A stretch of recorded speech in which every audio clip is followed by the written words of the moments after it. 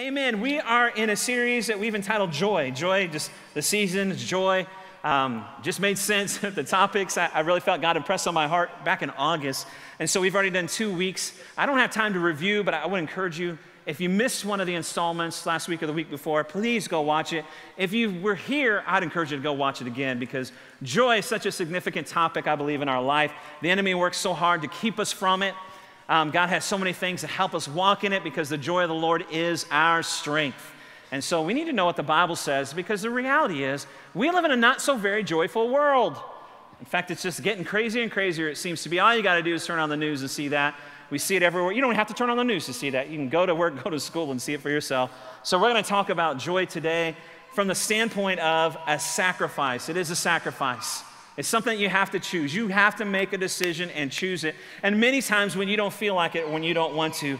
Let's take a look 2 Corinthians 6. Last week we went there at the Apostle Paul. We're talking about making choices that will bring joy in your life. So he had a rough life. He, um, in fact, he had a very hard life. He wrote a lot about it in Scripture, but at the same time, he wrote more than anybody else about joy, which is always funny to me. The guy who went through maybe, possibly the most stuff wrote the most about joy. In fact, most of his writings on joy were done in prison. So, what a great perspective he has. Take a look at verse 10, 2 Corinthians 6:10. Sorrowful, this is him, him writing, I'm sorrowful, or I have reason, I have reason to be sorrowful, yet I choose to rejoice. Poor, yet I choose to make others rich, having nothing, yet I choose to be as if, to act as if, think as if I have everything I need. What a great example he is for us. And really, he's telling us that really joy is a choice. When you see that word yet there, it's like he's making a choice, and you and I can make a choice every day. And a lot of you may not feel like that today, but I promise if you will have the guts to try what we're going to talk about, have the guts to try what we're going to talk about today, you'll experience greater joy in your life. Let's take a look at Isaiah. We've also looked at this passage. Isaiah 61, Prophet Isaiah prophesied hundreds of years before Jesus came on the scene. Jesus is the fulfillment of this. But here's what the prophet Isaiah said in verse 3, 61 3.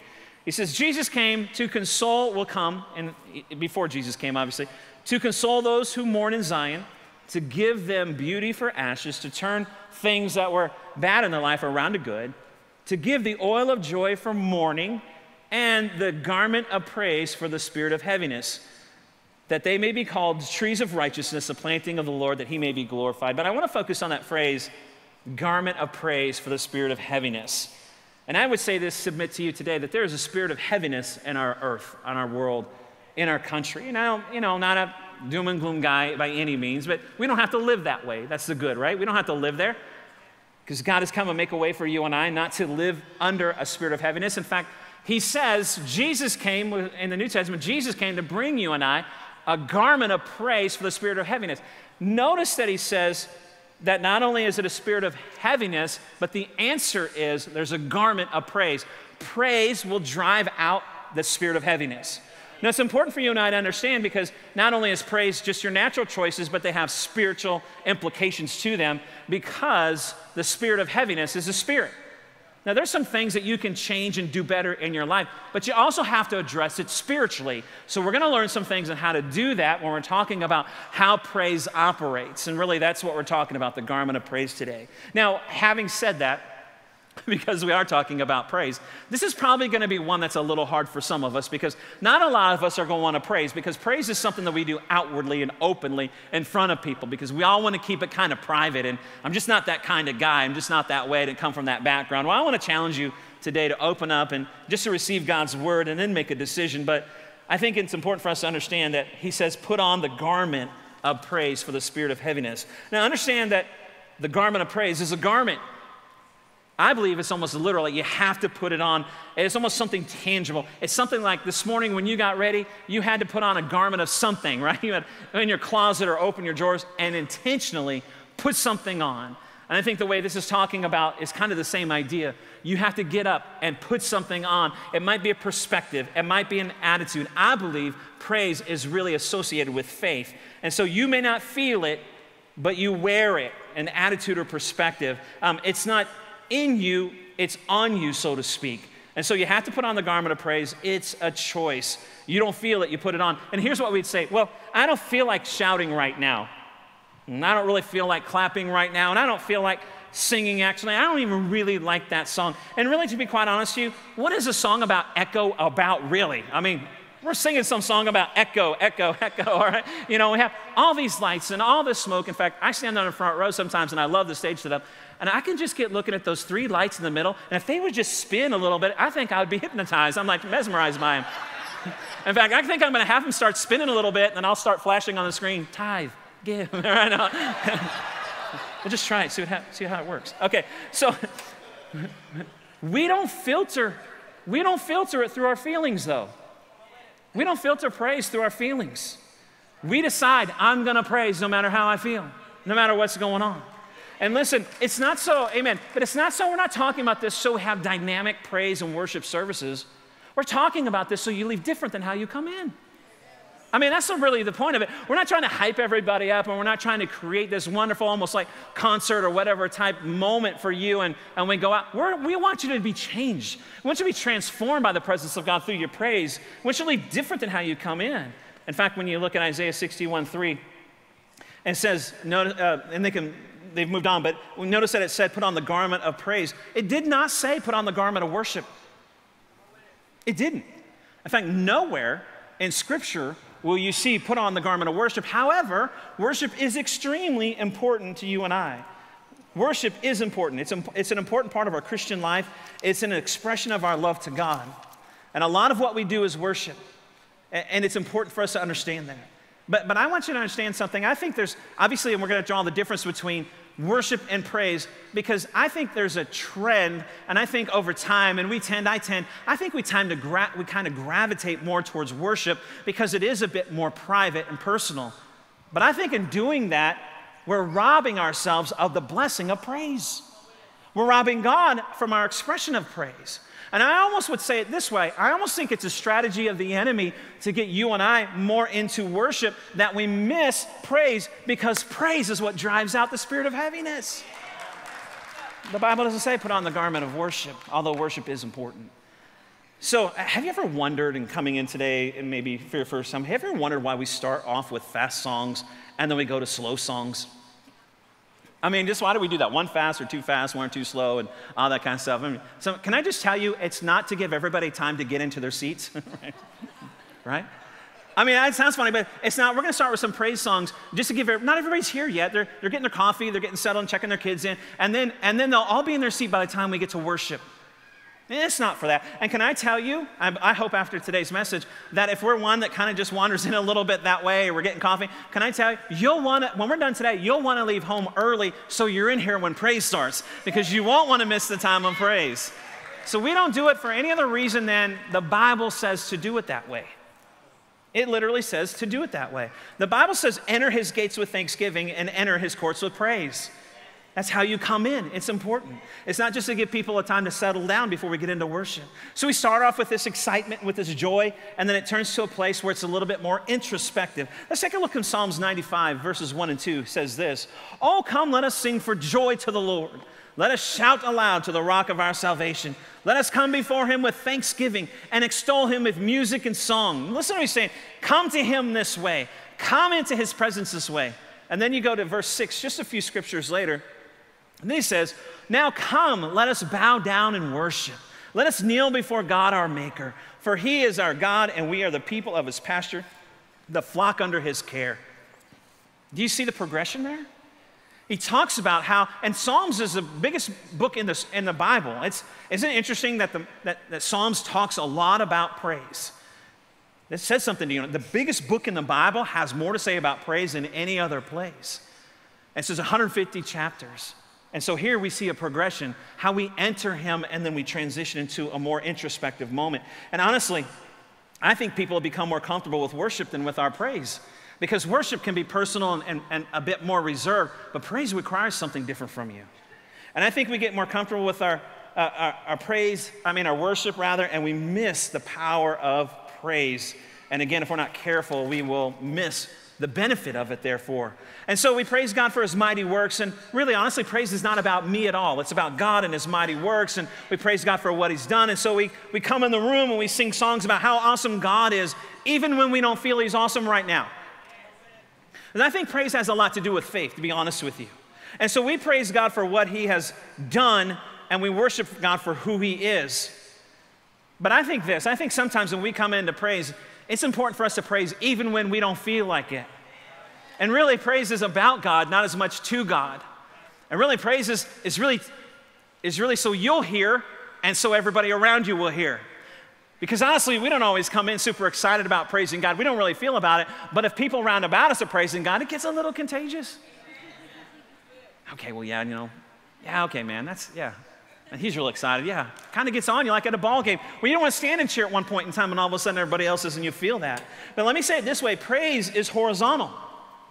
Praise is not really even singing to God. I'm singing about God to you and to me. And really, I'm singing about God to the devil, to be honest with you. And he needs to hear it. And, and what happens sometimes is that we don't feel it, but the people beside us feel it, and then it kind of rubs off on us. Or maybe we're the one that feels it and they don't, and it kind of rubs off on them. But listen, it's important, and let me say it this way it's important to be in the room. I thank God for technology and for those who couldn't be here on Sundays and when you can't and joining us maybe around the world, you don't have. But when any time you can get in the room, it's important to experience that dynamic of praise. We need that and we need each other in that moment. And it's part of our Sunday experience. It's not just you and God, it's you and us. It's together. And I can worship without you, but I don't think I can really effectively praise God without you. Because praising God without you is like, have you ever, have you ever pictured this? And I tried, to, I tried to create a moment where I could film this at the, I was going to go to Unicorn Stadium and, and sit in the grandstands, just me, and have somebody film and act like there's a game going on and stuff. It's like this. Coming to, to praise God by yourself is almost like when your team scores a touchdown and you're the only one, just you're sitting down and saying, yes, yes, and you're looking to high five somebody say, yeah, awesome. And then next time they score, it's like, yeah, yeah, yeah, it's good, good job. And and the next time it's like, oh, okay, you're on your phone, and next time you're, you're seated, the next time you're laying down, right? It's like, we need each other in these moments. The Bible talks a lot about praise and, and, and how it's horizontal, it's to each other, and how that inspires and encourages each other. And praise without each other is almost like being in the stands and the only one there when your team scores. And worship is vertical, is up and down. Let me give you one more thought. Worship is a response to God's love, praise is a choice.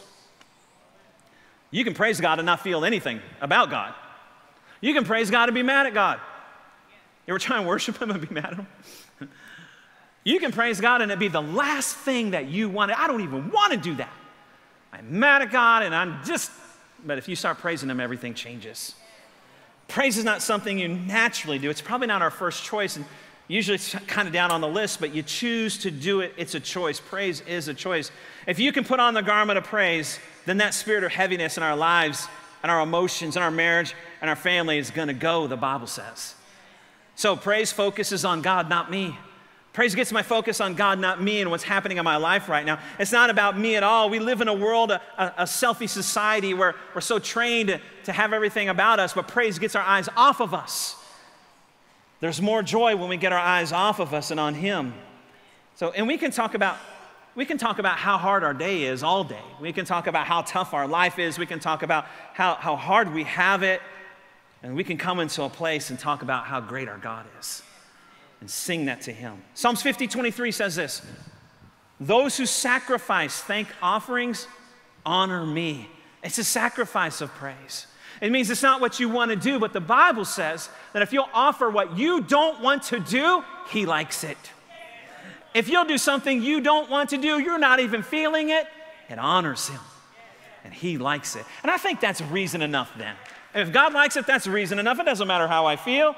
It's a sacrifice. I think, uh, I, was, I was thinking about this. I know we, had Wednesday night at my uh, small group, my life group, prayer group, uh, my mom uh, comes and attends, and we got on this topic of old school songs. And, and so we're just talking about songs back in the day, right? We're singing some songs back in the day. And of course, when you talk about Garment of Praise, help me out, everybody, if you know this song. And, and uh, back in the day, we used to, try, actually, I tried to get my mom to come play it, but she, she wouldn't. And so I've, I've forgiven her since then. But um, I love you, mom. And uh, so, so, mom, you can help me out with this one at least. Um, okay, here we go. Uh, put on the garment of praise.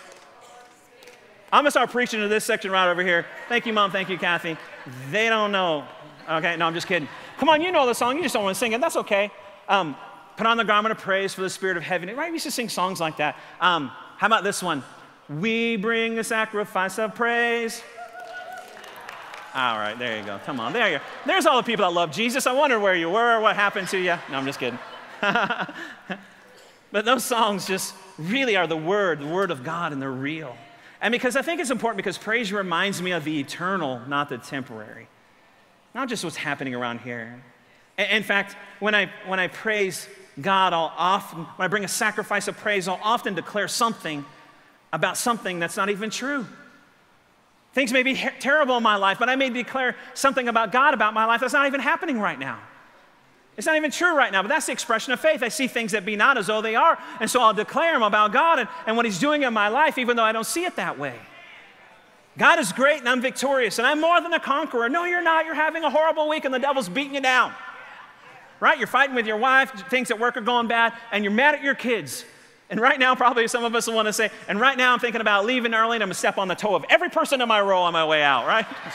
Stomp on them. But I'll open my mouth and sing God and praise. I don't want to. But if I'll lift a sacrifice of praise, the Bible says the spirit of heaviness will be lifted. That's what the Bible says.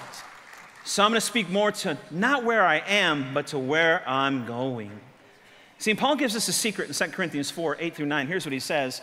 He says, I'm hard pressed on every side. I can't find a relief anywhere. Everywhere I turn, it's like I'm, everything's pressing in, but not crushed. Perplexed, but not in despair. Persecuted, but not abandoned. Struck down, but not destroyed. He goes on to say this in 17. For our light, listen to the wording, for our light and momentary troubles are achieving for us an eternal glory that far outweighs them all. Verse 18, so we fix our eyes not on what is seen or what is happening, but on what is unseen, since what is, what is seen is temporary, but what is unseen is eternal. I'm looking at where I'm going, not what's necessary. So I can praise Him based on that, regardless of what's happening right here and now. So it's a sacrifice at times. We have to bring that. So I'm going to speak not to where I am, but to where I'm going. The key, in other words, Paul says here in 2 Corinthians, is the then the then is greater than the now. The seen things are temporary, the unseen is eternal. See, praise is faith filled, and it's gonna work because our God is faithful, and our God is mighty, and our God is strong. Amen? So, praise is outward, not inward. It's expressive, and that's where we struggle because praise is outward, it's expressive. You, you remember the song? Help me with this one. Everybody should know this one. Help me with this one hopefully. Um, I've got the joy, joy, joy, joy. Where? Yeah. Well, you know what? Get it out of your heart.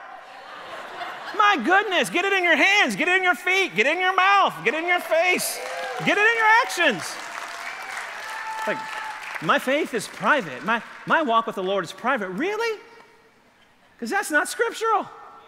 It needs to get out of your heart and get out in your hands and your actions and your, and face. And that no matter how you feel, doesn't matter how you feel. Hebrews 13, 15 says this Through Jesus, therefore, let us continually offer to God a sacrifice of praise. You're not going to want to do it, but do it. The fruit of lips that openly profess his name. But you got to open your mouth and do it. Get it out of your heart and get it in your mouth. And do it. That's honestly, most of the time, the last thing you'll want to do is praise, but it'll bring you joy. The sacrifice of praise, the Bible describes it as a sacrifice, but it's there you'll find joy when you openly profess.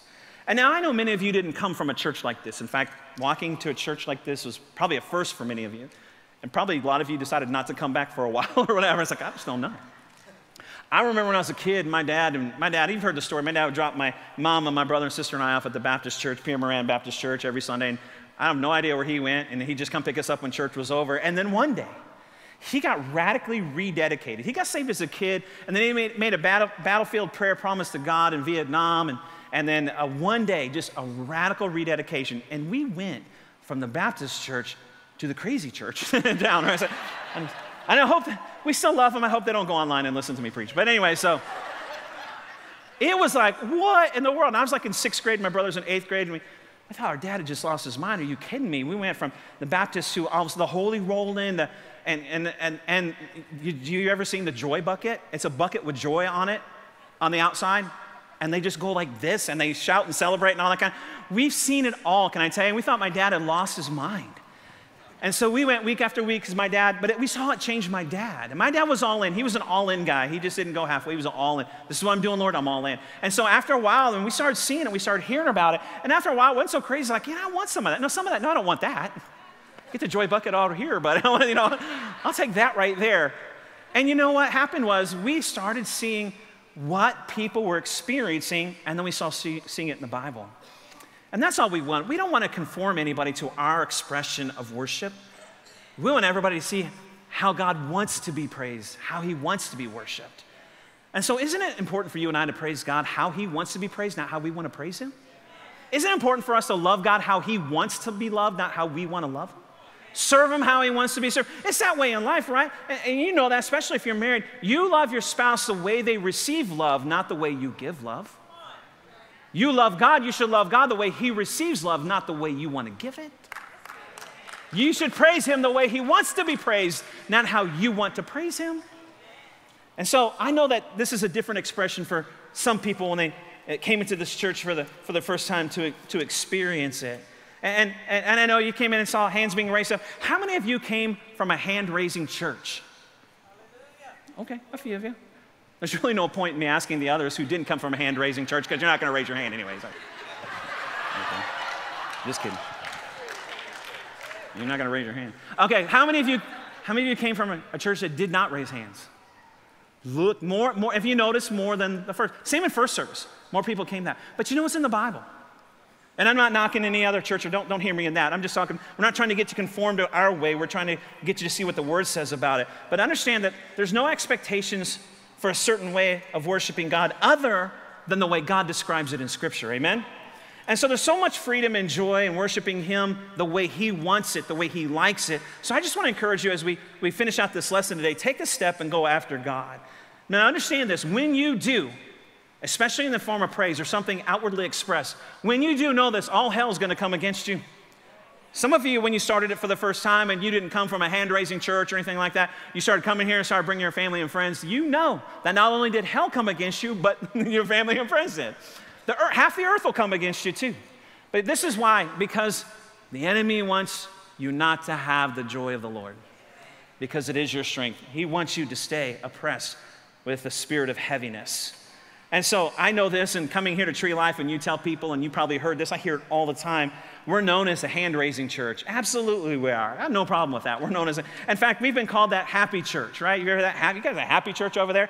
I'm like, what's the alternative? I mean, you go to the unhappy church? Is that where you want to go? I mean, it's like, shouldn't every church be happy? But anyway, so, uh, so but understand this was a problem even in, in Jesus' day. Even when Jesus was on the planet, same thing, religious crowd against this outward expression of praise. And so let's take a look at a passage where, where Jesus confronts it and, and understand, all we're trying to do is get more joy in your life. And so let's take a look here in Luke 19, 37 through 40. This is Palm Sunday. This is where the, when Jesus is entering Jerusalem a, a week before his uh, crucifixion and resurrection um, that they greeted him at the gates with palm leaves and victory. So that's where we get Palm Sunday. So Jesus is coming in Jerusalem, and right at the crest where Mount of Olives begins its descent, the whole crowd of disciples, listen to this, burst into enthusiastic praise over all, over what? All the mighty works, all the people that were raised from the dead, all the healings, all the eyes being opened, all the ears being opened, how awesome God is, how powerful God is, all the things they've witnessed. Verse 38. Blessed is he who blessed is he who comes the king in God's name.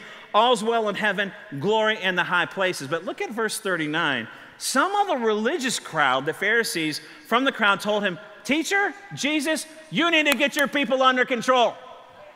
You need to get that church under control. You need to get that congregation under control there." But he said to them, "If they keep quiet, the stones will do it for them, shouting praise, because that's how I receive it." He says, because that's what I, the stones will do it because that's what I like. Even Jesus faced that in his day. But sometimes it's hard because it's, we know it's outwardly expressed, and so there's a, sometimes we feel like we just, we don't want to go there. We don't want to do that. But know this, it's a choice. Praise is a choice despite the circumstances. And so it says, put on the garment of praise. And so I, am just trying to think, oh, how can I illustrate? I really want you to get this. So how do I illustrate that? And, and I really think, and I, I see it in terms like this, this tangible choice that you make every day or throughout the day, that you have to put it on. It'd be like this. Let me give you an example. It'd be like this. Put it on a garment. it'd be like this. You got to pick something out and you got to put it on. I'm going to pick this out today. I'm going to put this on today. Well, I hear a little praise. And I hear a few haters out there too, Lord. It's like, like the religious crowd. No, I'm just kidding. Here's the point, though. I'm gonna keep my glasses off because I can't see your faces. That might be a good thing. I don't know if you're liking it or not. You're falling asleep. Put on it. You just coming like there's a game today or whatever. You put. You've been there. When there's a game and you're gonna go someplace, you put on the appropriate garments. And it's just like you'll shout and you'll cheer and you'll support and you'll be a productive part or a positive part of what's going on in it. Obviously, the Cowboys, I like the Cowboys, but there's not a whole lot to praise about right now with the Cowboys, I'm just telling you. So it's in faith, Lord. It's in faith today in Jesus' name. So, so the point is, this is a garment I put on, and it changes things a little bit in me. Changes the perspective a little bit, changes things in me. Okay, let's get this off. okay. Thank you, who's ever clapping. I can't see who's ever clapping, so it's okay. I'm still going to pray for you. Whoever's clapping can't see you. What about, what about this garment? What, what about this garment right here? Got a little more serious all of a sudden, right? But this garment, hold on. Mom, I heard that laugh, Mom. I don't have to see you. I heard your laugh, Mom. I, I mean, funny, but not funny, right? I mean, this is obviously a gown, but, but here's a garment that, that people wear when they're hurt.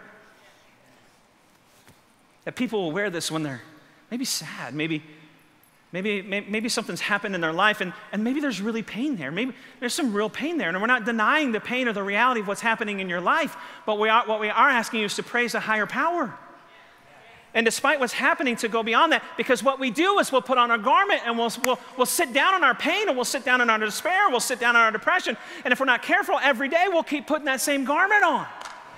And all of a sudden, that hurt becomes a garment that we wear. And some of us have been carrying those pains for years.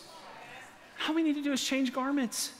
We just need to change it. And, and this is the point here. So we put on a, we put on a different garment. It's not like I need to fast and pray. It's not like I got to go to church and have the pastor lay hands on me. It's not like I, it's not, you just change garments. And so some of us have been wearing this garment of hurt for a long time, unfortunately. Like, oh no, let me, yeah. Just kidding. Just kidding. What about, what about this garment right here? What about this one? Here's a garment for you. Right? It, it didn't go so well first service. I'm just warning you. We'll see. But this garment on. Because honestly, our choices, last week we talked about our choices. Our choices are putting on different garments. And uh, some of us have made choices in our life that has brought guilt and shame and have imprisoned us. Yeah, this is about the way first service went. I like that. Yeah, that's not very, okay, yeah. yeah. What's that? That extra taco I ate. I think I can't get it, I can't get it on there. Oh, okay, well. But here's the thing. Here's the thing. All joking aside, really. Some of us have been imprisoned by our choices. And some of us have been in bondage from guilt and shame for years. And we're carrying around this guilt. We can't, we can't get our joy because you can't be guilty and happy at the same time. And we've allowed the enemy to bring shame, which Jesus already died and paid for guilt and shame for our life. The enemy keeps bringing that back, and we're putting on this garment of prison, prison garment. And we're, we're imprisoned in this place. But to understand something when Paul and Silas found themselves in prison, the Bible says they began to praise God, and their chains fell off of them. And opened, the doors opened up, and I escaped. Orange, you glad I'm not wearing this anymore? I got the joy, joy, joy, joy. Okay. What about this garment? This one right here. See, because you choose every day. Put on the garment. You choose every day. This garment right here. You know what this is? It's a choir robe. It's a garment of praise right here. You choose to put it on. So, you choose. What, what am I going to wear today, God? If we go by what we feel, we won't be putting this on. Because the enemy's going to make sure we're wearing this garment or we're wearing this garment. Well, maybe not that one, but, anyways, we're not.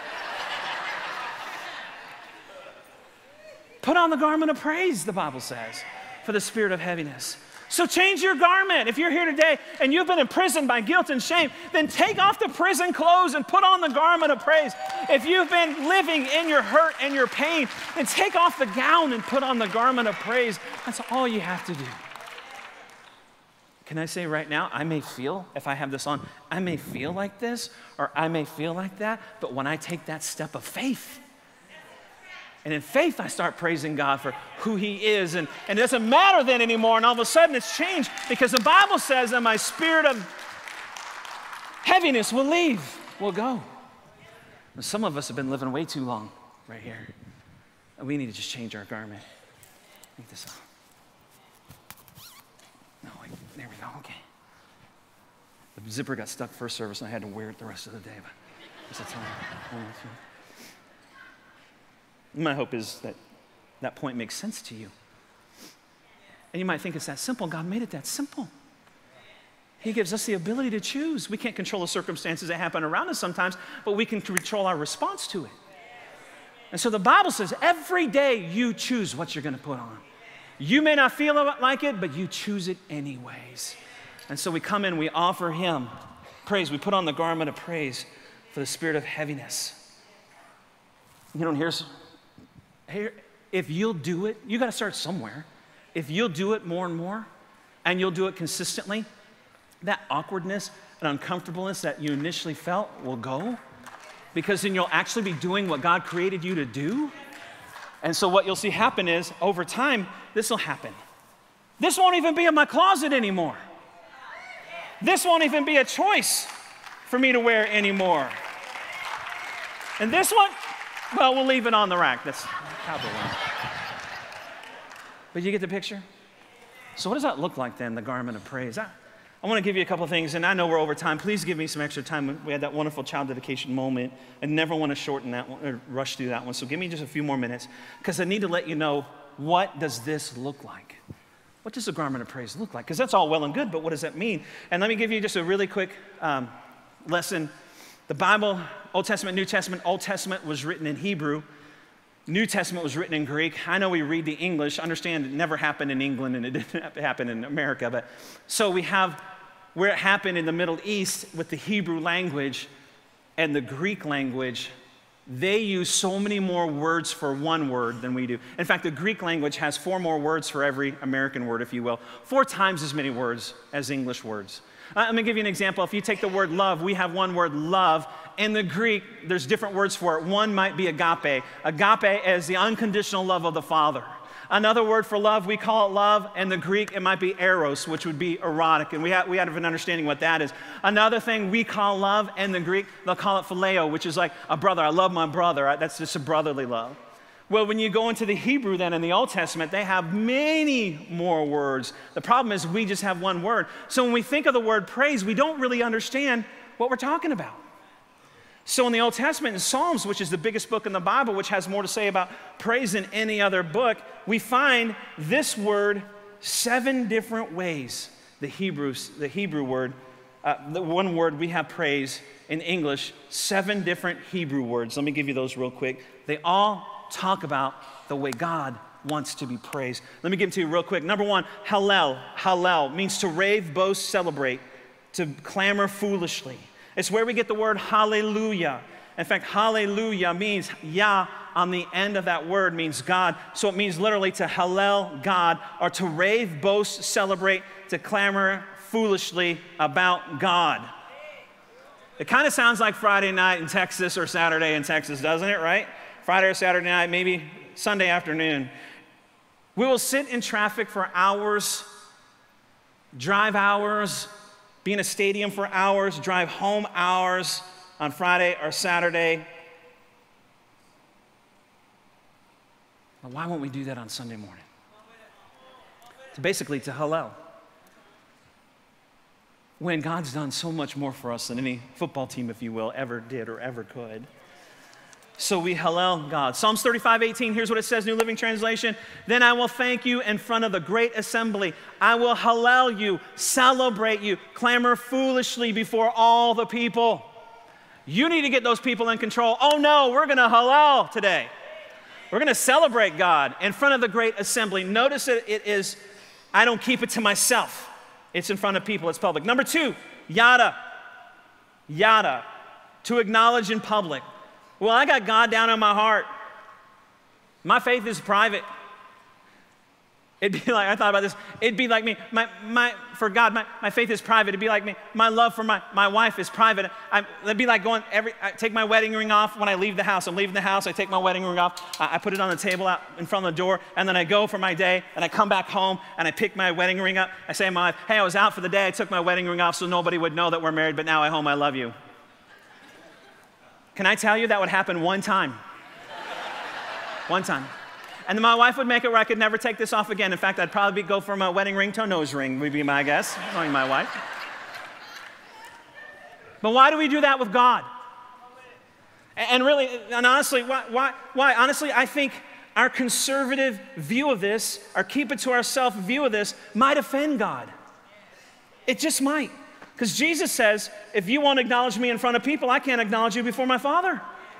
Psalms 138 1 says this I will I, I, forgot, the word. I'm sorry. I will, oh yeah, I will yada you. Uh, what is it? Where do we go? Okay, I will yada you, Lord, with all my heart. With all my heart, I will acknowledge you in public. With all my heart, God. Okay, number three, we got to keep going. Here's the word. We have the word praise. In the Hebrew, it's the word barak and it means to bless by kneeling or bowing. Now, it doesn't just mean physically, it means a posture or an attitude or presenting yourself. When you barak, you present yourself to God expecting to receive something from Him you don't currently have. It's an attitude of, wow, God, you're such a generous God. Psalms 103 1 says this Barak the Lord, present yourself to the Lord, my soul, and all my inmost being. Praise His holy name. I will Barak you, Lord. I will present myself to you, expecting something from our great and generous God. I will position myself to receive something I don't currently have. I mean, what would it be like if we came in here every Sunday with that attitude that, and we, we were like this I will Barak you. We will. We will Barak you. That's all I got you? We will, we will. Bar- okay, that was strange. Hey, how come you're singing that song and not the other ones? I don't know, but okay. What if we come that way with that posture? Number four, Zamar. Zamar, making music to God with strings. How come you got all those instruments up there? Because it's in the Bible.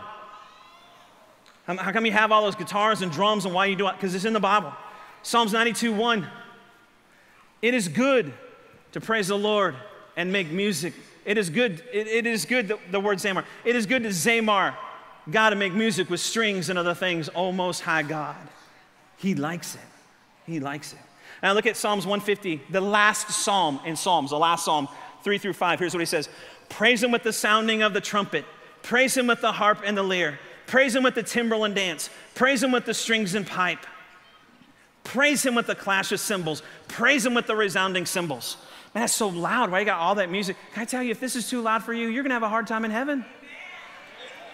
Heaven said, the Bible says the sound of heaven is like a continuous roar of rushing water. It says it's like a clash of thunder. So it says it's like in heaven.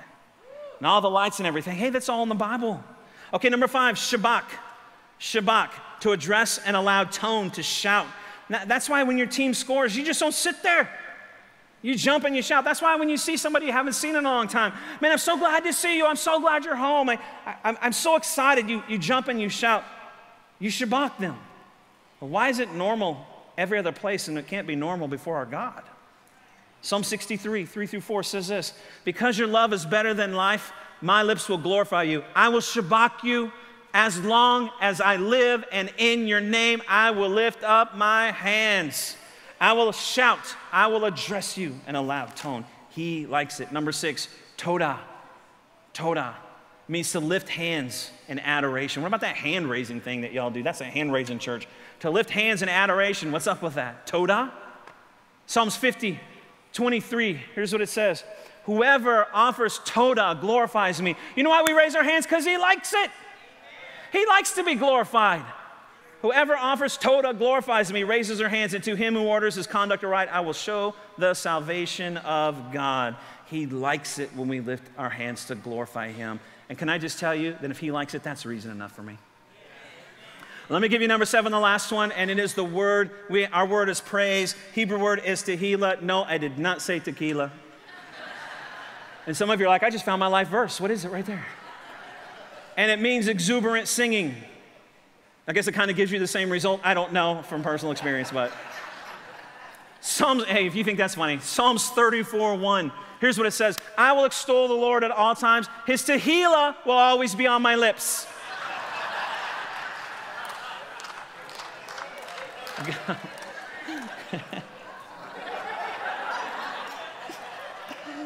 you know, this doesn't sound so bad. We're just laughing, having a good time. Like, I'm all of a sudden, my brain's like, na na na na na na na. How do you all know that song? With the joy, joy, joy, joy down in my heart. God likes exuberant singing. God likes exuberant singing. But I know it can be hard for some of us. But please, please, please listen. All joking aside and everything, we've had a great time, and I hope that you've received this this morning. This is the Word of God. We're not trying to get you conform you to our expectations. We're trying to get you to praise God the way He wants to be praised. God likes clapping, singing, shouting, dancing, hands raised. He likes to be praised. And guess what? Putting on the garment of praise drives away the spirit of heaviness. Maybe that's why He likes it so much. Maybe He doesn't want His kids to walk around in heaviness. And He knows He created a way if you'll just put on that garment, especially when you don't feel like it, then that spirit of heaviness will lift. And He loves it when you're not weighed down by heaviness. Maybe that's why He likes it so much. And the truth is, so will you. If you can put all that religious stuff, maybe some pride, maybe some guilt, some shame, put it all away. It's what you were created to do. We do it everywhere else. If you're looking for permission to do it in church, I didn't go to church like that. If you're looking for permission to do it in church, you have it this morning. In fact, let's just go a higher level than me. You have written permission. It's in the Bible that God wrote. And God's trying to add some life to you, some joy to you, because the joy of the Lord is your strength. But you have to make a choice every day. And it is a sacrifice, it's not going to be easy. The only part of life that we can control is our reaction to it. So you can't control the weather, you can't control the economy, your employer, you can't control your, your body at times, your health, you can't control your family, your spouse, you can't control some things sometimes. But you can control your response to those things. And that's why we choose. We choose it. So that's why we choose to take all the other options off the table, off the rack, out of the closet, and just leave the one. You have to put on the garment of praise. I want to do one thing before we pray for people to give their life to Jesus. I really, I really felt I was, the Lord was leading me to just, I just want to pray for just a spirit of heaviness to leave. I just want to rebuke and take authority over a spirit of heaviness. So let's do that. Every, this is bow our heads. This is kind of attitude of prayer. Father, I just right now in Jesus' name, we just rebuke a spirit of heaviness, Father God. We know it's a spirit, Father God, so we take authority over that spirit right now in Jesus' name. Through the authority we have because of the shed blood of Jesus Christ, we take authority over the spirit of heaviness and we say, You're not welcome here. You're not welcome in these lives. You're not welcome in these families. You're not welcome in these bodies, these minds, these marriages. You are not welcome. You must leave in Jesus' name. We take authority over you, spirit of depression. We take authority over guilt and shame. We take authority over sadness and despair. We take authority over those things. And we choose to put on the garment of praise and lay those other things at your feet, Father God.